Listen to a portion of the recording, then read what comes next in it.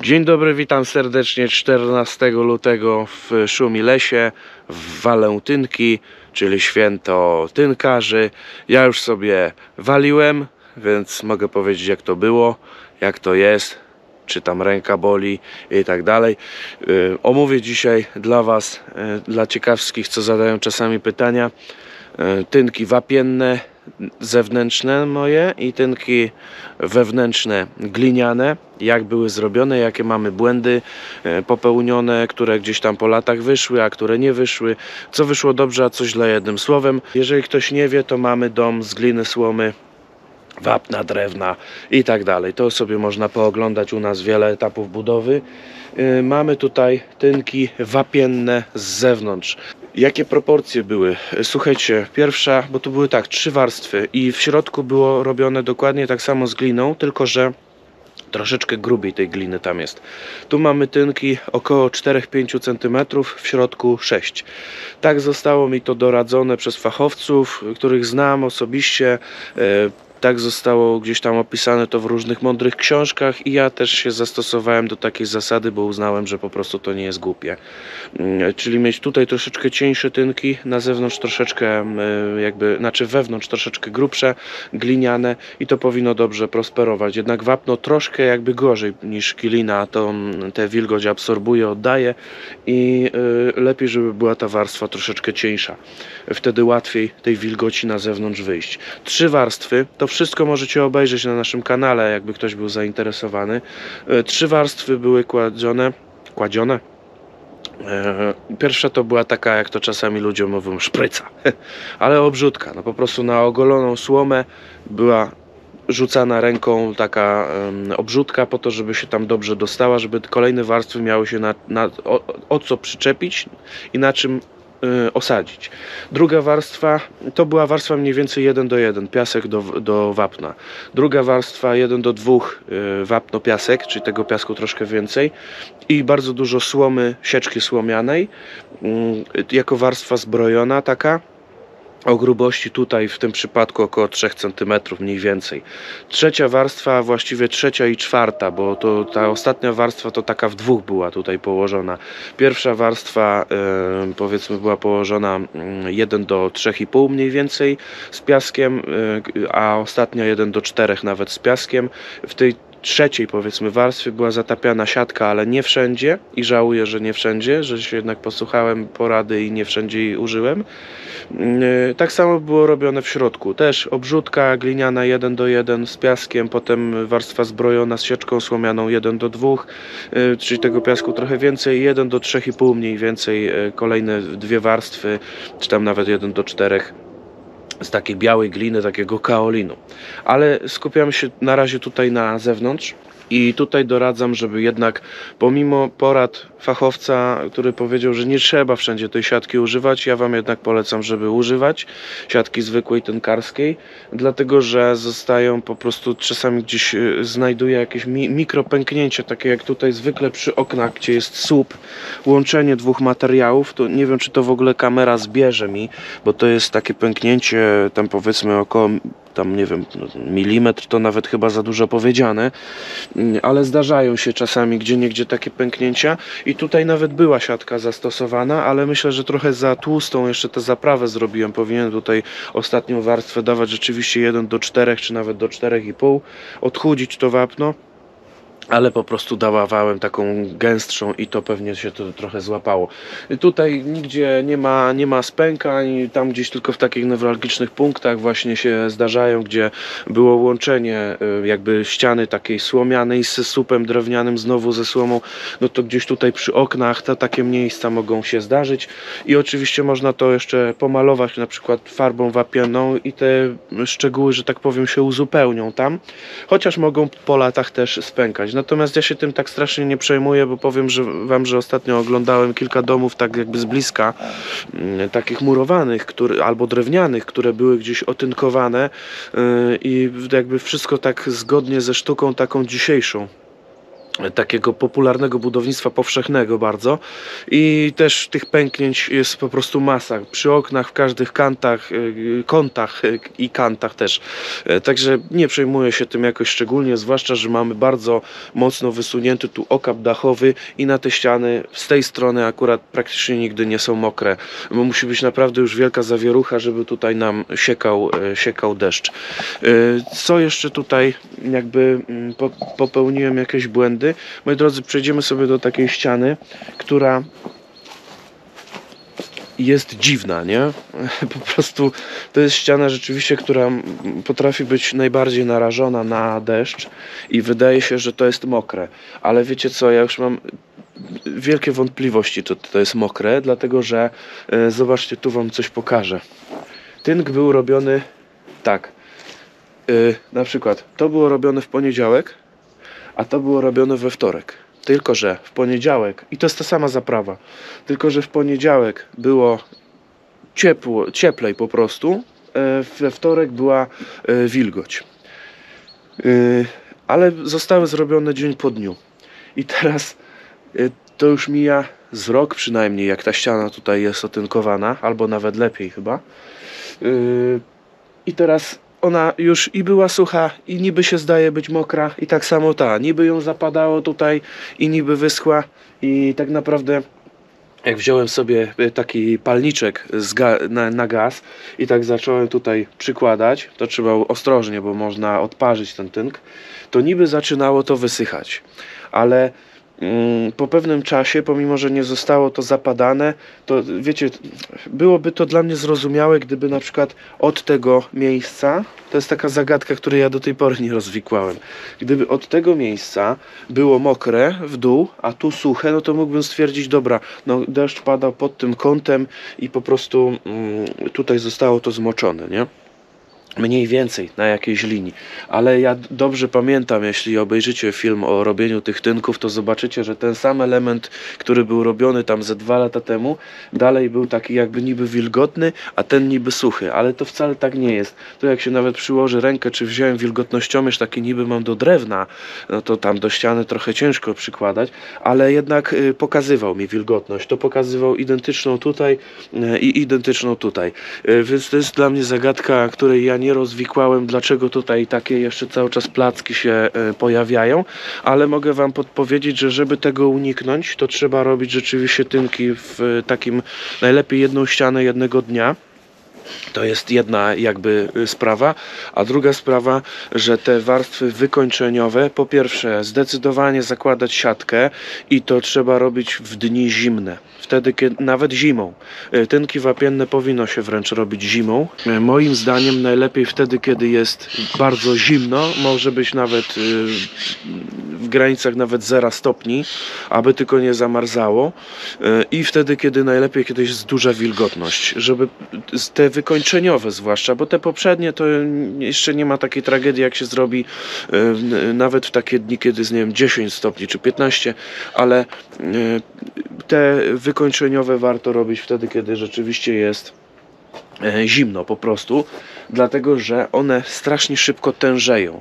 I ja niestety mam tutaj takie brzydkie, trochę te placki takie, dlatego że ja raptem taki kawałek siatki wklejałem i dopiero robiłem następny kawałek, ponieważ mi się strasznie em, strasznie szybko to schło. Więc najlepiej robić, kiedy jest zimno, wilgotno i do tego zrobić sobie pierwszą warstwę, czyli już mówimy jakby o tej trzeciej warstwie wykończeniowej. Już była obrzutka, były te tynki wz, wzmacniane słomą i robimy ostatnią warstwę jakby wykończeniową. W, powiedzmy, że to są dwie warstwy. To robić pierwszą warstwę z siatką na dużych powierzchniach, jak największych, jak nam się tę siatkę udaje e, w, w, wkleić w ten tynk i zostawić. A tynk ostatni robić dopiero jak mamy czas na to, żeby na przykład walnąć też jak jest zimno i wilgotno musi być najlepiej, bo to strasznie szybko tężeje. Bywało tak, że jak robiłem w dzień, kiedy było troszeczkę bardziej sucho i cieplej, no tam cieplej, no 10 stopni było raptem, to mi tak szybko tężało, że nie mogłem tego za, za, zatrzeć dobrze gąbeczką. I, I dlatego ten dom z zewnątrz nie wygląda tak, jak powinien, moim zdaniem. Wygląda brzydziej niż mógłbym to zrobić. W środku zrobiłem ładne tynki, a na zewnątrz brzydkie. Z gliną łatwiej się pracuje, ale, y, ale mm, z wapnem też by się dało tak zrobić. Chodzi o to, że najpierw zrobić z siatką całość, a potem ostatnią warstwę rzeczywiście odchudzić tym piaskiem, nawet 1 do 4 robić, y, wapno, piasek y, i ostatnią warstwę naraz najlepiej robić całą ścianę, można wziąć sobie kogoś do pomocy i od razu zacierać, a dopiero potem robić drugą ścianę i tak dalej. No wiecie, ja robiłem to sam. Było mi ciężko, bo tutaj i rusztowanie, i na dole trochę. Niby ściana nie jest jakaś strasznie wysoka, ale jednak musiałem rusztowanie robić. Dlatego robiłem takimi plackami i trochę zrobiłem głupotę, że niestety robiłem te tynki jako pierwsze wykończeniowe, dopiero później robiłem w środku i ten dom z zewnątrz wygląda tak naprawdę dużo brzydziej niż, e, niż od wewnątrz. Mm, Myślę, że będę pewnie za jakiś czas, chociaż chciał to, nie wiem, pomalować jakąś farbą y, wapienną, tak żeby zniknęły te różnice takie. Już nie musi to być równe, bo to wcale nie jest cel, żeby było równiutko w kancik ciosane u mnie. Mm, y, Taki mamy dom, jaki mamy i te zaoblenia takie są fajne. Ale no, no można by było to jeszcze poprawić, zarysowując to troszeczkę i po prostu właśnie walnąć y, ten, tylko na raz. Tylko wiecie, no ja już jestem tym tematem zmęczony. Natomiast jeżeli chodzi o y, trwałość tych tynków, Wiecie co, no poza tym, że gdzie niegdzie pojawiły mi się takie mikrospękania, o tutaj przy oknie też, właśnie to są te miejsca przy oknie takie najgorsze, nie? Oczywiście można to po prostu nawet mówię zamalować i wtedy y, tam się wypełni to wszystko.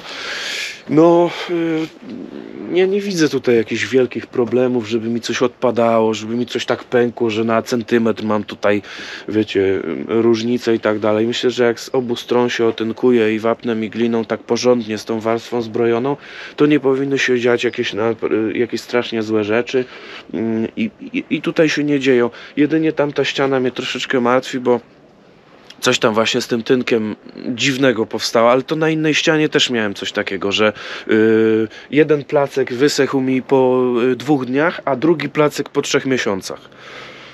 Przynajmniej tak wizualnie się wydawało, że, że wysycha, więc coś tam było mm, dziwnego z tym, ale generalnie nie ma tutaj problemów. Ludzie czasami się pytają, jak to jest możliwe, że ja nie dodałem cementu, a te tynki takie są y, twarde i tak dalej. Y, Nie pękają, nie rozwalają się, nie sypią się jakoś i tak dalej. Tutaj jeszcze czasami zdarza się, bo tu nie, nie działa, mówię tak deszcz na to, że taka, y, taki piaseczek jest jeszcze, jeszcze się utrzymuje po nawet dwóch latach praktycznie od wykonania. To jeszcze się ten, ale to też jakoś nie brudzi specjalnie, więc y, no po prostu takie są te tynki, to nie jest moja zasługa, ja po prostu posłuchałem fachowców, pomyślałem jak rzeczywiście powinienem to zastosować sam u siebie w domu y, i wykonałem te tynki tak, że są w miarę przyzwoicie, że właśnie są w miarę trwałe, ale na pewno popełniłem też błędy, które później naprawiłem w środku i w środku mam ładniejsze tynki gliniane, ale tutaj mówię, tą ścianą się troszeczkę martwię, bo ona mm, to jest najwyższa ta ściana. Okap dachowy jest niewiele co wysunięty, ja wam to jeszcze pokażę. Jest mniej wysunięty i do tego ta ściana jest po prostu wyższa, tak? Więc y, pod kątem deszcz tutaj zacina czasami y, i niestety no, to jest ściana zachodnia, tak jakby, no prawie że zachodnia i, i, i potrafi być troszeczkę tutaj to zalewane, dlatego zastanawiam się, czy czasem nie odeskuję tego jednak tej ściany, e, albo chociaż części jej tam na dole, żeby po prostu nie była no nie była zbyt narażona na wilgoć, bo tak jak normalnie to dom jakby wysycha w cyklu rocznym nie ma problemu, że tam była taka pora wilgotna, ale czasem się zdarza tak, że rzeczywiście przyjdzie jakaś taka, wiecie, wielka ulewa, no i ja tam niby mam te 5 cm tego tynku, więc on nawet jakby wchłanialność tego, tej wilgoci ma bardzo dużą, ale jednak troszkę się obawiam, żeby tam gdzieś do tej słomy za bardzo to nie podchodziło, więc albo będę się pewnie y, decydował na jakieś deskowanie kiedyś, jak znajdę czas, albo właśnie poszukam takich środków hydrofobicznych, chyba to się nazywa, czyli takich, żeby rzeczywiście ten deszcz po nich zlatywał, ale żeby nie przeszkadzały w oddawaniu wilgoci mm, na zewnątrz. E, no to już nie jest takie może naturalne wtedy wszystko, ale czasami trzeba takich e, sposobów użyć, żeby tę naturę w środku gdzieś tam, prawda, e, no, ochronić. Przejdziemy sobie do środka, tam niestety moje dziecko ogląda sobie bajki, więc mam nadzieję, że nam da cokolwiek tutaj, żebyśmy pooglądali ale y, zobaczycie tynki gliniane. I jesteśmy już w środku. Pytacie się często, skąd taki kolor gliny. On jest taki, w zależności jakby tutaj balans bielej też ustawi co do żarówek, on jest taki y, lekko kremowy, to nie jest beżowy, wy może teraz trochę beżowy widzicie, nie wiem dokładnie, ale on jest bardziej taki, można powiedzieć, taki krem, to jest kaolin. On był dokładnie tak samo wykorzystywany jak e, wapno, czyli jeden do, e, do jednego brzutka, jeden do dwóch mniej więcej później ta warstwa zbrojona i jeden do trzech i pół, mniej więcej nawet do czterech warstwa wykończeniowa. Ja to ostatnio parę rzeczy robiłem, więc obtukłem ten tynk. Na pewno wadą tego tynku takiego prostego, czyli tylko glina, piasek, woda, ja jeszcze tu dodawałem kwasu borowego. Bardzo mało, na całą kastrę 90-litrową dodawałem niecałe pół szklanki. Chodzi o to, żeby jeszcze dodatkowo jakby zabezpieczyć się przed jakimikolwiek grzybami i tak dalej. E, tutaj no, żyjątkami jakimiś, które by chciały gdzieś na tym tynku e, sobie osadzić się, że tak powiem, i żyć. E, natomiast wadą takiego tynku, który jest naturalny, nie ma dodatkowych jakichś tam metylocelulos i innych rzeczy, jest to, że jak gdzieś czymś uderzycie, możecie zrobić po prostu taką szramę, tak? Albo może coś odpaść. One są mniej twarde niż te tynki wapienne, zdecydowanie mniej twarde. Można dodawać mm, właśnie kazeiny, czy jakieś tam metylocelulozy, czy innych rzeczy, takich spoiw, ale, czy nawet oleju lnianego, ale w przypadku oleju ten kolor nam się zmieni. Do tego trzeba pamiętać, że każda taka dodatkowa mm, ingerencja w ten tynk to zmniejszenie paroprzepuszczalności i hygroskopijności, czyli takiego pochłaniania wilgoci z powietrza, kiedy jest na przykład wilgotno w powietrzu, załóżmy w łazience, i y, potem oddawania, kiedy jest sucho. Ta przepuszczalność i, i, i wchłanialność, pojemność tego się po prostu zmniejsza. Dlatego jeżeli ktoś używa już tynków, które mają różne dodatki, to, to musi mieć naprawdę dobrze zrobione te tynki w sensie tej mieszanki, żeby nie zakłócić tego. No bo po co robimy te tynki gliniane? Po to, żeby było zdrowo, żeby żadne świństwo się nam nie wydzielało do powietrza z jakichś mieszanek chemicznych i żebyśmy mogli po prostu y, korzystać z tej regulacji y, wilgoci. Y, tu jeszcze mam drewno nie do końca doczyszczone, ale tak mniej więcej te tynki wyglądają w połączeniu właśnie z drewnem. To troszeczkę powinno być jeszcze tutaj bardziej, bardziej wyraziste, ale zacząłem je już myć, bo tak, tynk z tego kaolinu troszeczkę brudzi na biało. Przez jakiś czas trzeba by go przetrzeć po prostu szmatką. Troszeczkę, to, to nie jest dużo, nie? Ale, ale troszeczkę jest. Łatwo to zrzucić, to taki pyłek. Więc warto prze, prze, przemyć to może nie, ale suchą gąbeczką przelecieć, żeby, żeby to zrzucić. No i drewno opalane też mi brudziło na czarno, tak? Więc musiałem troszeczkę je umyć, teraz już, już nie brudzi. Tak te tynki wyglądają y, i mm, Powiem tak, największe błędy, jakie popełniłem, to popełniłem na górze. E, dlatego, że strasznie chciałem, aby połączyć. E, tutaj jeszcze możecie widzieć takie brzydkie kawałki, bo ja po prostu nadmiaru zaprawy jeszcze nie pozrzucałem. Nie? To jeszcze przede mną niestety parę rzeczy. Ale tak, tu na parterze udało mi się zrobić całe szczęście, że tu robiłem tak, jak mi się nie chciało robić, a na górze zrobiłem tak, jak chciałem i tam zrobiłem wielki błąd. A mianowicie, co bym Wam powiedział tak? Nie łączcie ściany z sufitem. Na suficie mamy tutaj płyty gliniane. Może najpierw ja omówię. E, z takiej firmy Polska Ceramika Cienia. Pozdrawiam serdecznie, bo to e, nam pomogli tutaj na budowie dużo, więc bardzo jestem wdzięczny i o nich zawsze będę się ciepło wypowiadał. Mamy tu gliniane płyty. To wszystko jest też zrelacjonowane. Y, One są zbrojone siatką, a ja jeszcze położyłem jedną warstwę z siatką tynku i drugą warstwę już bez siatki.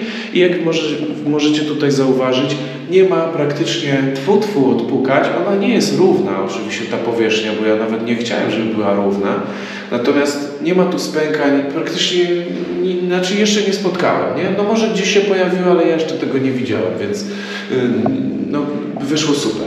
Natomiast tu było tak, że najpierw otynkowałem ściany już finalnie, a potem sufit. To jest trochę głupia metoda, bo potem jak się robi sufit, to coś kapnie na ścianę. Ale mnie tak czas naglił i tak musiałem robić. Więc co mogę polecić już z doświadczenia? Najpierw oczywiście najlepiej zrobić sufit, a dopiero potem tynkować ściany, ale Yy, całe szczęście, że tutaj musiałem właśnie robić na dwa etapy. Miałem ściany, tynkuję sufit i mówię, kurde, będzie tu jakaś na pewno przerwa, jakaś linia się zrobi i to nie będzie fajne. I zrobiła się i dobrze. Wiecie, budynek trochę jeszcze pracuje. Yy, Płyty jak były położone, zaraz była niedługo celuloza w- wdmuchiwana tam, z też yy, dobrej firmy Termexu i Hot House tam robił takie firmy. Czasami podaję, pomimo że to nie jest płatna reklama, to podaję Wam, bo warto uważam. Yy, I, i, I to było wszystko tak zrobione dosyć szybko, nie? Nie, że dwa lata czekaliśmy, tylko w granicach tam miesiąca czy dwóch to wszystko było zrobione i po prostu mm, to jeszcze gdzieś tam może pracować. Sama konstrukcja domu może pracować. I tu nam się zrobiła taka szparka, ciężko mi ją nawet pokazać. I wiecie co? Ja się cieszę, że się zrobiła tutaj. Dlaczego?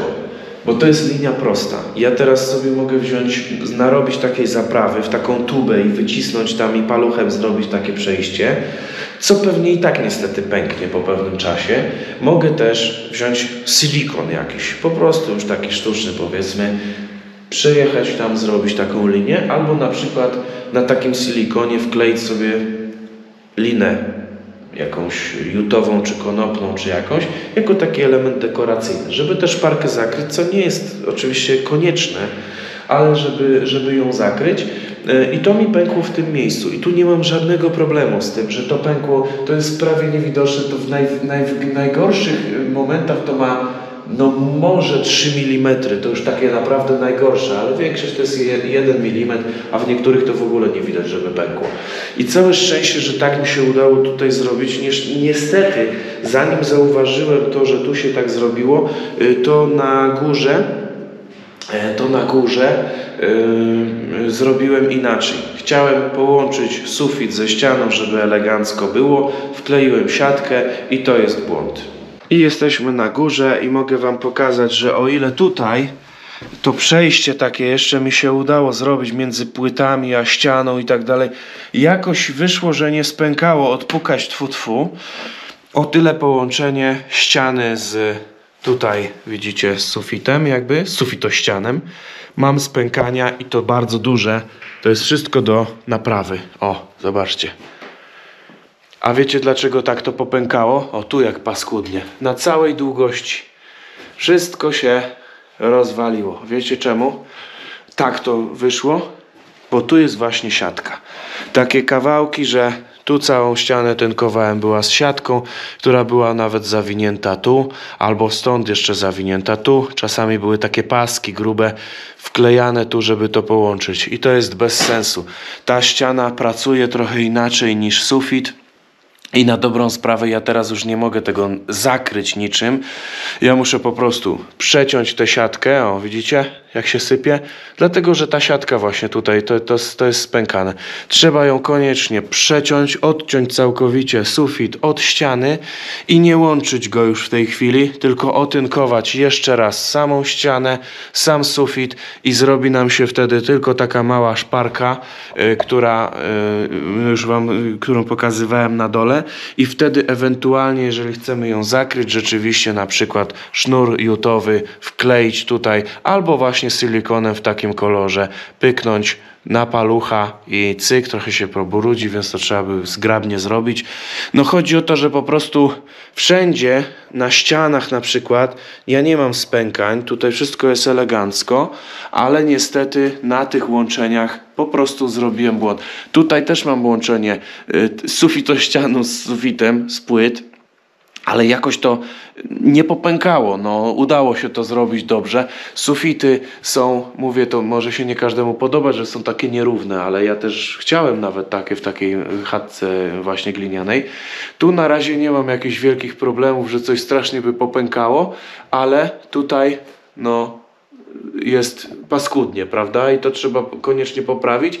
E, Tutaj mam też taki element właśnie łączenia su- sufitu ścianu ze ścianą. Tu się takie coś nie stało, to jest ścianka działowa. Ona jakoś bardziej współpracuje i nie popękało w ten sposób, ale te zewnętrzne ściany, no niestety mają taką skazę i wszystko jest do poprawki. Jeśli chodzi o trwałość tych tynków, no na pewno są mniej e, odporne na różne uderzenia niż, e, niż tynki wapienne, co widać chociażby tutaj, że jak wchodziłem na górę i uderzyłem jakąś kantówką czy czymś e, cięższym, po prostu mi kawałek odleciało.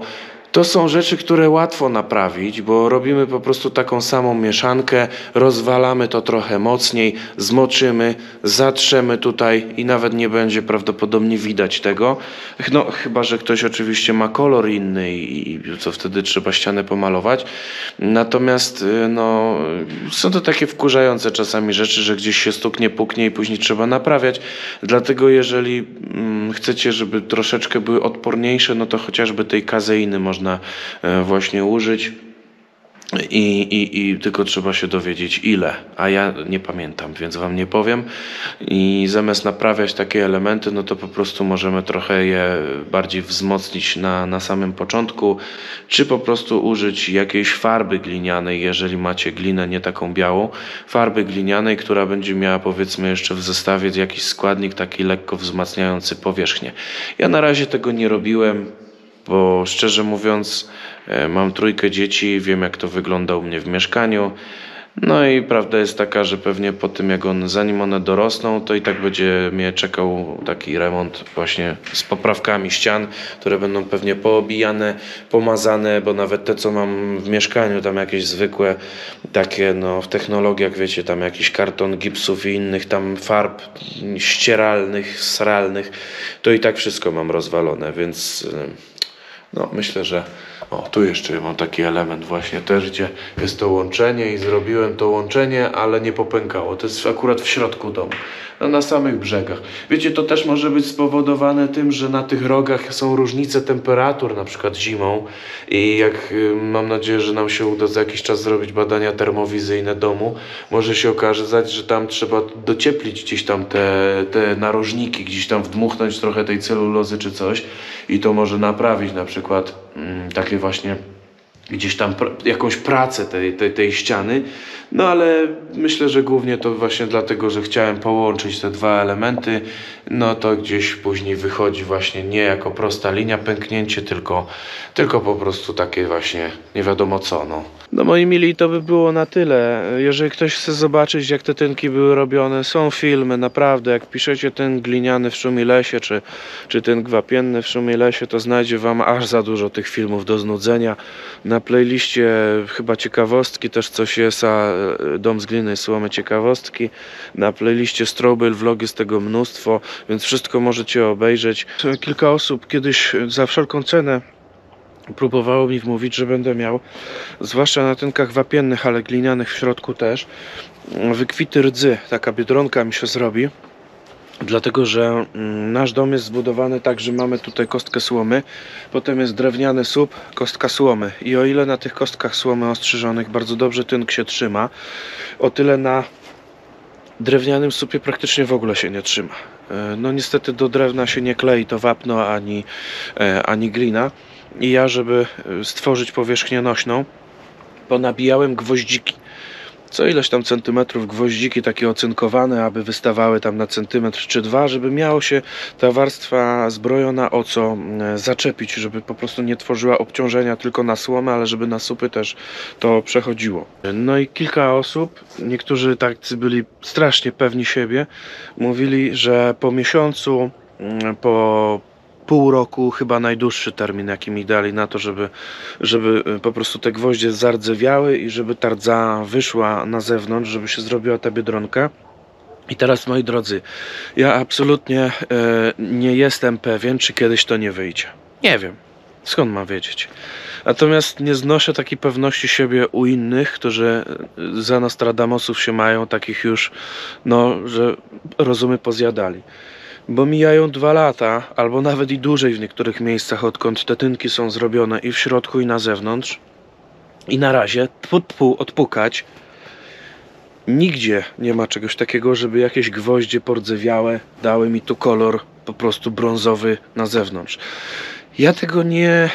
mm, Nie to, że odrzucam taką tezę w ogóle, że to się nigdy nie pojawi, bo ja tego nie wiem.